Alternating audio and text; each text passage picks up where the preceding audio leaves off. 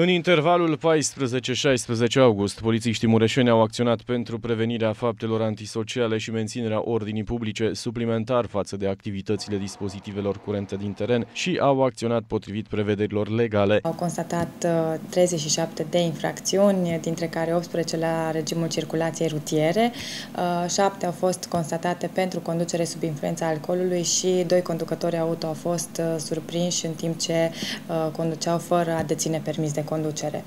Um, au aplicat peste 1000 de sancțiuni um, contravenționale uh, cu o valoare de peste 300.000 de lei. Acțiunile nu s-au oprit aici. Polițiștii au intervenit și au aplicat alte 130 de sancțiuni contravenționale pentru nerespectarea normelor privind ordinea și liniștea publică prevăzute de legea 61 pe 1991, două sancțiuni prevăzute de legea 12 pe 1990 privind protejarea populației împotriva unor activități comerciale ilicite.